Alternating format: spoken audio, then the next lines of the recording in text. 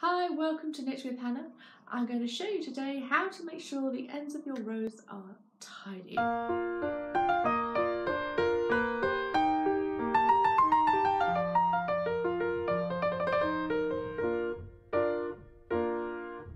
Hi, welcome to Knit with Hannah. I'm Hannah. I'm here with Knitting Natter to help you learn to knit the easy way.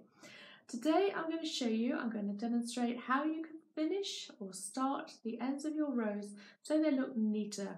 Sometimes if you just started knitting or you just have a different style, a looser knit, then you can find the garter stitch edges and even sometimes the stocking stitch edges can feel a bit loose. They can feel more stretched than the general centre of the knitting. I'm going to give you a method today so you can tidy it up and you'll see I've done a small amount of knitting without it and a small amount of knitting with this technique and you will notice a difference. So you may want to carry on and use this yourself. Let's get to it.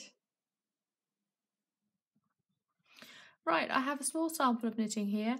You can see that I'm basically knitting in garter stitch and this is when sometimes a problem occurs that you finish a row, you start a new one, and the rows seem a bit like there's too much too much yarn there at the end of the rows. It feels far too loose and far too stretchy. So let me show you what I've done. At the base here, I have knitted every row, but at the first stitch of every row, I've actually slipped. So I don't knit the first stitch, I just move the next, I move that stitch onto the next needle without knitting it.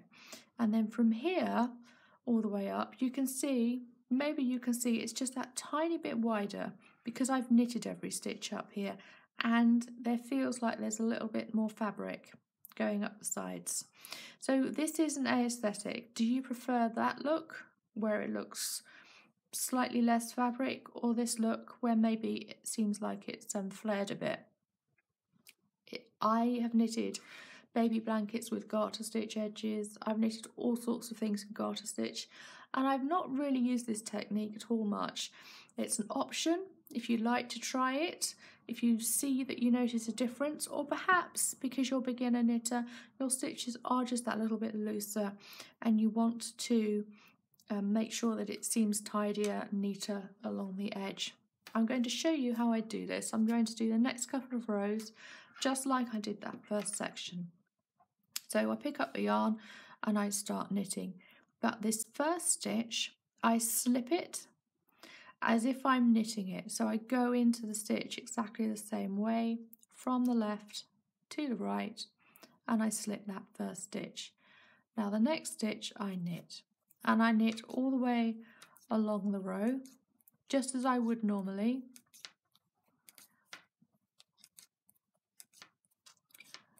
And then get to the end of the row turn the knitting around and I do exactly the same thing.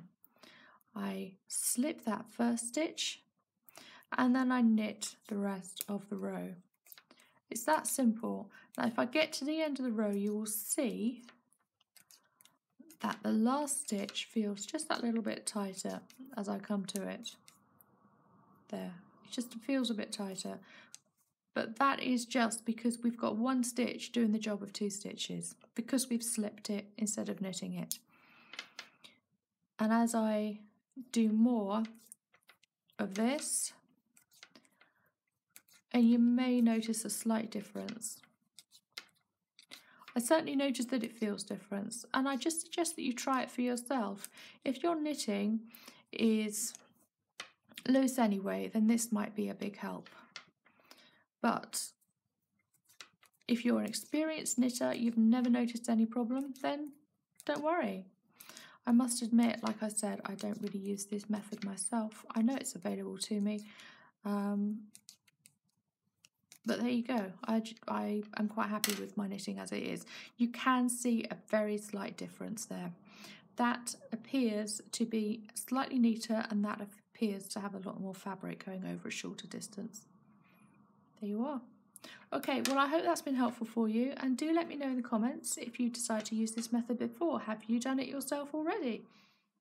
Well, I hope that was useful for you. Now know you now know how to finish your knitting so that the edges of your rows are neat and tidy.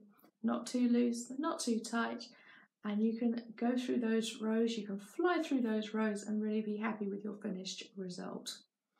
Well, I hope you'll join me again next week. Please subscribe so you're notified of any new videos. They will be there every Tuesday for you.